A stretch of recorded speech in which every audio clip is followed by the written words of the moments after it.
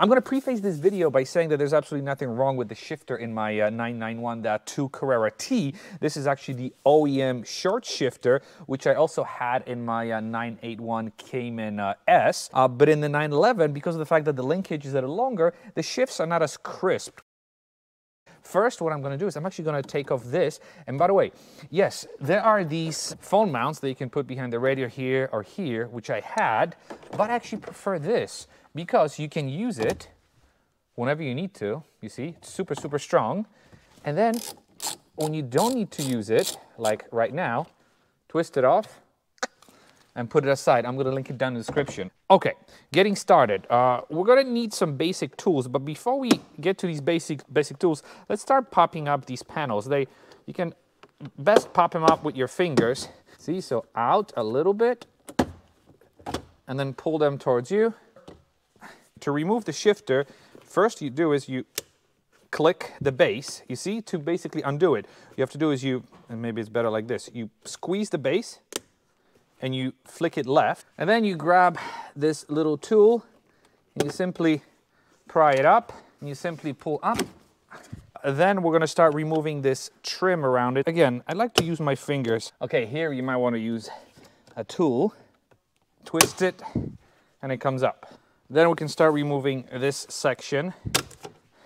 Next, we're gonna remove this center piece. There are these clips on the side that are easy to shift to the side and it comes right out. Disconnect. There you go. Then it's your ashtray. Again, you stick your tool in here, stick it here, shift it forward, see? And it pops out and also disconnect it from the back. Next, I grabbed a towel because we're gonna be removing uh, the radio, or rather swinging it to the side uh, because we want, we want to remove this climate and then the radio can, uh, we can pop it back in. So you take your trusted T25 and the idea here is you take the radio out, you swing it to the side, and then you take the climate unit out. I've taken this radio out in the past. Let's see, can we swing it to the side? This is it. Each plug is different, so there's no way you can screw it up. And then you slide the radio in temporarily. So now you've got one, two, three T25s on each side that you want to undo. Now, we should be able to slide this whole piece out now just by prying it. This is the trickiest piece. Uh, in my other car, I broke a tab. Actually, was pretty straightforward here. It comes right out. Next, you've got this wiring loom, which you need to disconnect. This side, I simply squeezed at the bottom, which allowed me to pull it out, out of the hole. The one in the back, I could not do it, uh, so I had to cut the zip tie, but it's pretty, uh, it's pretty straightforward. Now that you've got the shifter exposed, the idea here is to remove the shifter cables. To remove shifter cables, you simply push them forward and slide it and as you slide it out, it exposes the gear. Now, to mark the area where the shifter should be, because it sort of, it sits centered, but not really. You just want to mark the areas where the shifter should sit into this little thread. There you go, like this, like that. This is where this one is. And now after exposing the second one, let's mark it up as well. This one, So now that both of them are marked up, you can simply pull them up. You see? Pull them up. Pull them up. And now your shifter is all flimsy. So now that your shifter is indeed flimsy, uh, you can remove the T25s that are here. The screws are, are removed and the next step is as simple as removing the actual shifter assembly. So let's wiggle it out. There we go. So this is the, uh, the old shifter, and this is the new shifter. Uh, aluminum base sits on plastic sliders. Uh, this looks like also aluminum base that sits on, uh, metal, I guess stainless steel sliders. So uh, that's why this should give me um, a, sort of a, a, better feel. Now you might be confused, where's the actual knob? This is the knob, and what's cool about this one is this is adjustable. So depending on how high or, low you want it to be, uh, you, can, uh, you can play with the height. I'm gonna set it to the same height as my OEM one, uh, but before we can do that, we need to transfer the actual guys from the bottom. So to do this, you simply, you see, grab it, you just twist it off. Come on, come on. Feels like you're, you're breaking it, uh, but you won't. Okay, so left one goes to the left, or rather the white one goes to the left. See, it just snaps in place. And now this one, we're gonna transfer this one to the right. Pops in place. And this is it. So now the installation is uh, basically a reverse of removal, as they say. Uh, so you stick it in here. Now, there's a chance not from the what the company tells me, but one person messaged me saying, "Hey, I was having issues when I put the uh, the car in reverse. I was getting some rubbing, so I used a little washer up here. That's a possibility. If that happens to you, you just use a little washer here to lift the shifter just a little bit. So, anyways, first what we're going to do is we're going to put the actual shifter cables back in place, and I, and since I have it marked here, I know exactly where they go. All right, and just like that. We closed it and now we can go ahead and attach one, two, three, four of these screws. All right, so you want to tighten it as much as you can so you can now test all the shifting to make sure there's no rubbing or anything. Sure enough, there is rubbing actually. So this is the shifter, right? So you shift it, one, two, three, four.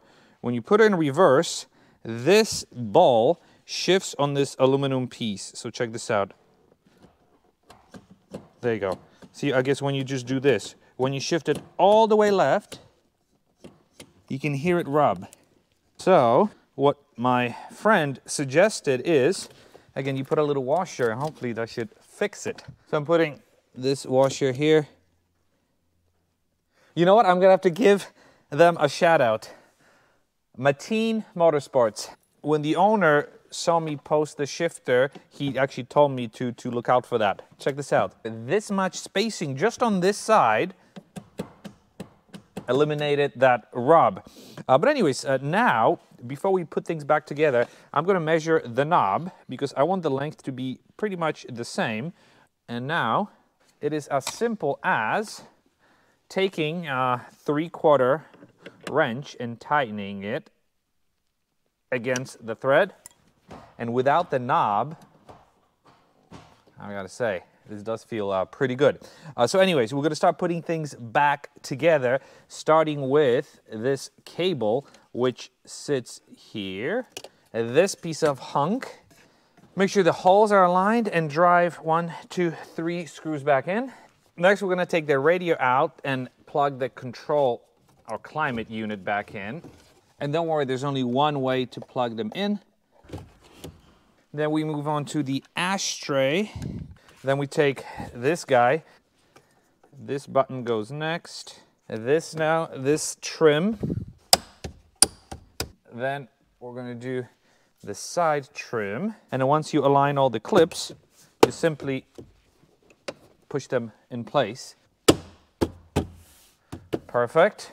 And then last but not least, there we go. So it is on. And then remember, you wanna click you want to tighten it, put it back in place, and you're done. So now, the moment of truth. How does it feel? Oh my God. wow. Okay. So it does feel pretty good. I've got to say. Wow.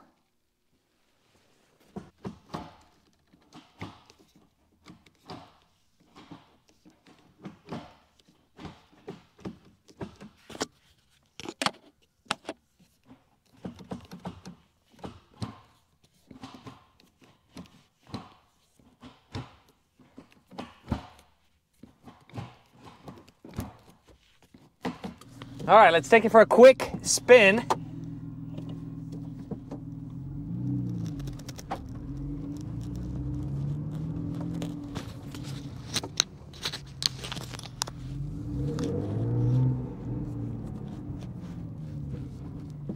Wow.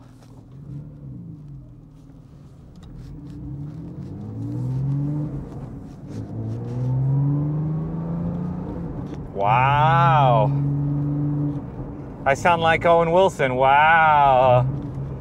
Oh my gosh. This is so cool.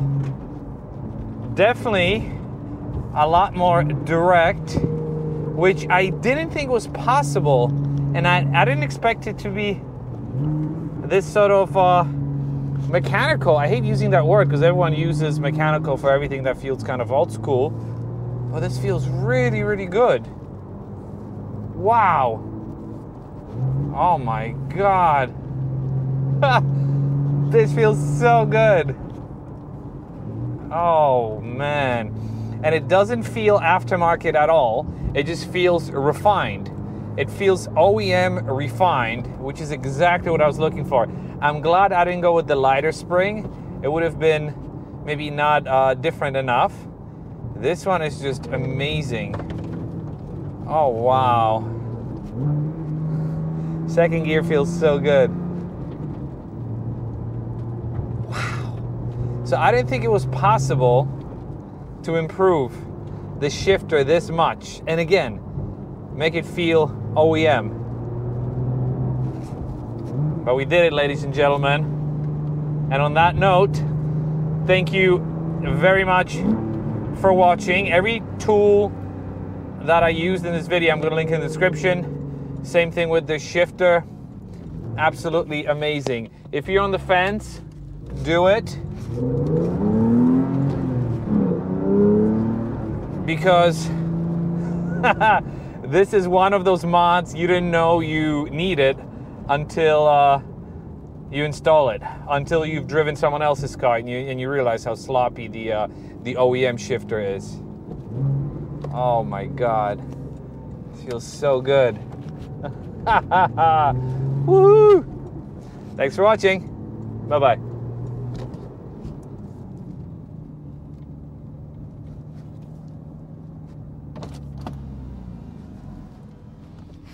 Do you need a ride?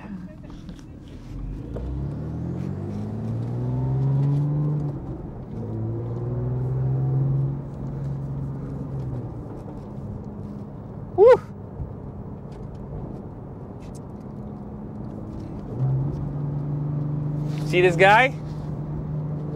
Happy. Oh, yeah. Thank you, Jeff. Thank you, Caesar. And of course, thank you, Numeric Racing, for making such a great product.